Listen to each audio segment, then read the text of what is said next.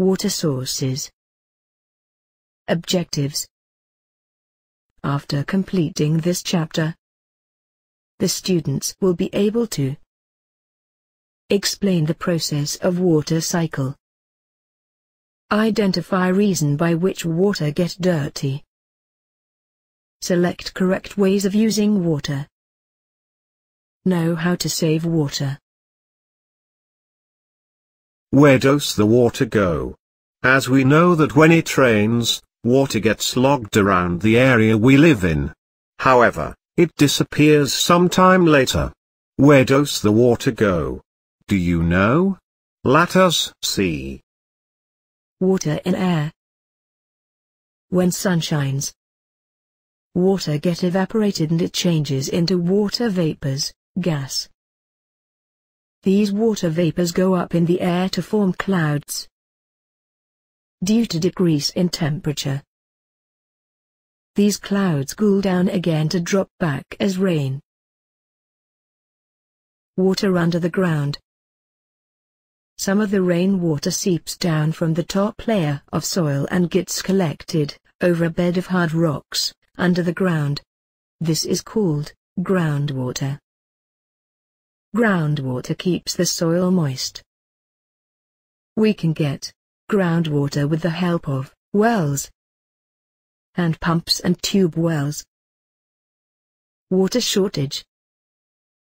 As all us know that, rainwater and groundwater are the two main sources of water for most places.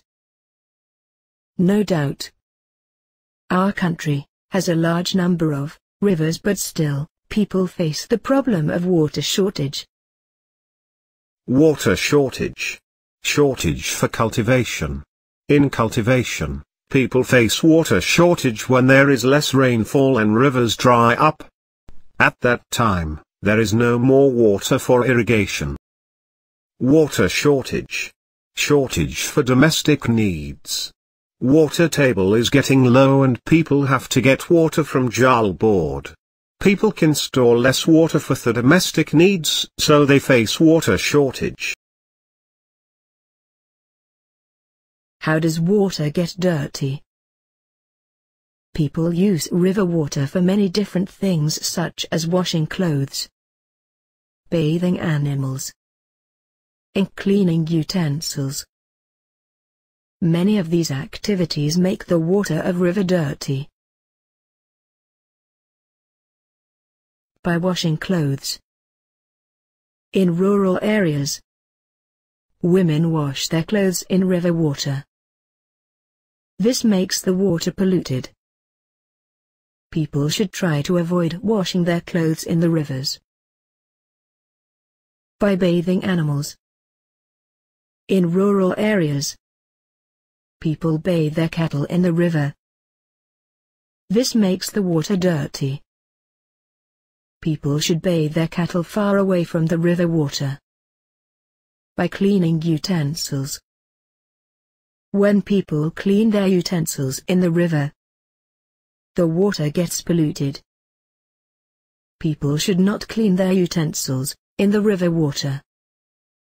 They should use a bucket to clean the utensils and use the used water for watering plants. By throwing garbage. Garbage like plastics, Human waste makes the rivers dirty. We should never throw garbage in the rivers. We should keep our rivers clean. By factory chemical. Waste from chemical factory makes the water of river poisonous. Even fishes cannot live in this dirty water. Save water. Water is one of the most important needs of living things. Water is a limited source. We can save water in very easy and successful ways. Here are a few tips using which you can save water. Do not run water while brushing. When you are brushing your teeth or washing your hands, do not keep the water running always. We should always use a mug while brushing the teeth. We should always close the taps after using it.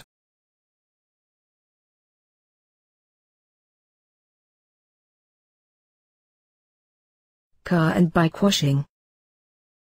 We should always use a bucket of water to wash our bike or car. We should always use a bucket instead of a pipe.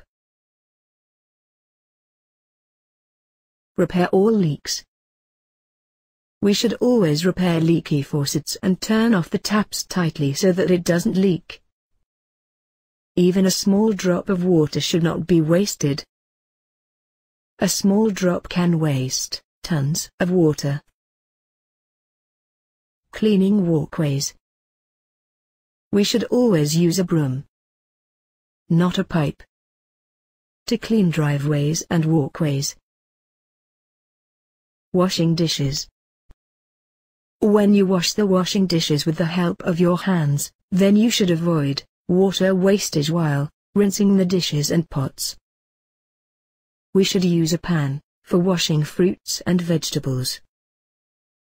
This can help you save a lot of water. Use drip irrigation. Farmers should use drip irrigation system for watering their fields. Used water for watering. We should always use used water for watering plant. For example, after washing vegetables, we can use this water for watering plants. Do not use shower. We should not use the shower for taking bath. We should always use a bucket for taking bath. Rainwater harvesting. One of the best ways of increasing the availability of water is to collect and store rainwater for later use. This way of collecting the rainwater is called as rainwater harvesting.